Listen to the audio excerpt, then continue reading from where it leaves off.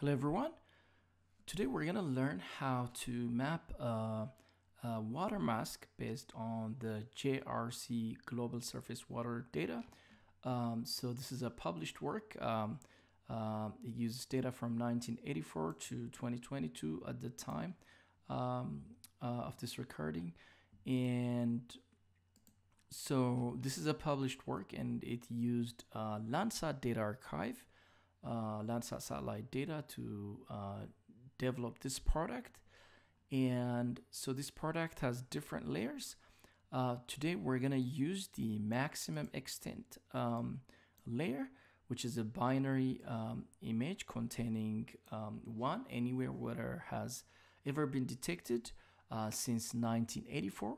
So, you know, any location that there was water uh, or water recorded, whether it's flooding or permanent water, um, since 1984, uh, it will have a 1, and then everything else um, will be 0.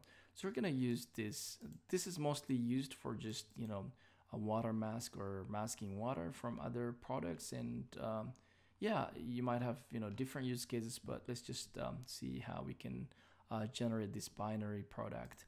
Um, so uh, before um, we get started, we can copy this um, or just, uh, you know, go ahead and copy this uh, image collection. Uh, this is the main uh, image collection here. I'll have to, all right. And then create a variable, let's say global surface water layer. And then let's just um, create a semicolon here. And so this product, as I mentioned, has different layers. We're gonna use the max extent layer. Um, so let's create a variable, say water, for example, global surface water, select. Um, so we're gonna use the max extent layer. Okay, and so the max extent has, you know, uh, a binary value uh, 0 is for non-water area and then 1 is for water area. So we can, um, instead of like mapping both 1 and 0, we can remove the 0 values, non-water areas, by applying a mask. So let's create a variable masked is equal to, and let's just uh, call this water uh, layer. And then we're gonna uh, apply update mask so what this does is it will remove any um, zero value there. We have a typo here. Uh, right, it should be update mask. That's why. Um, and then it this um, this this layer itself. So that will uh, remove any uh, you know zero value. And you know alternatively we can also use self mask to uh, remove the zero values. So we can um, say masked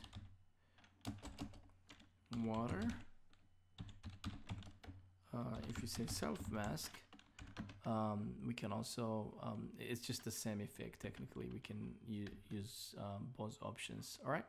So last thing is map.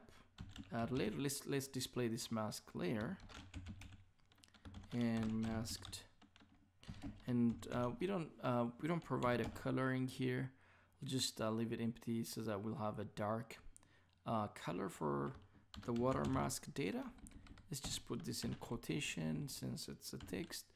Um, that should be it. And once we execute this code we're gonna see um, you know a water mask data um, for the entire planet and so what this water mask does is uh, it will only provide um, any location that has um, you know water or just there was water occurrence observed since 1984 so this is the timestamp that this data started.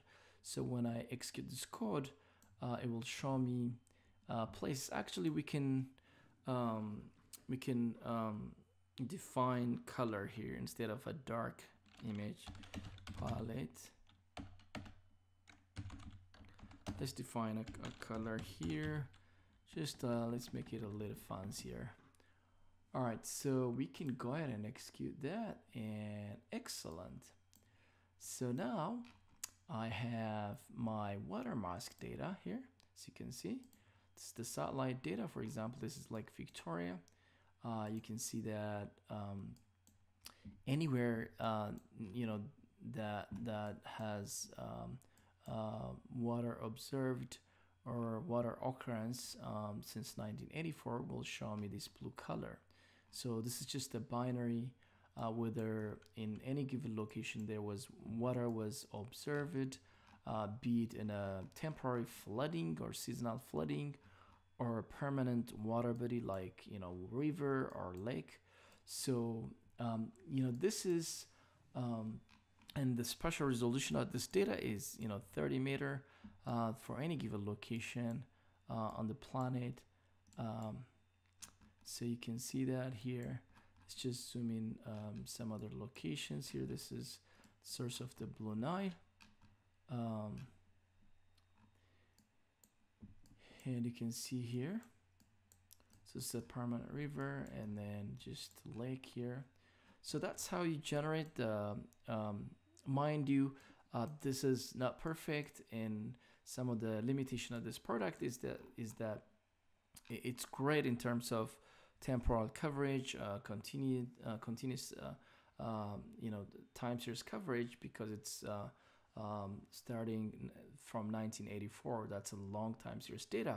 But the limitation of uh, this product is the spatial resolution is coarse at 30 meter.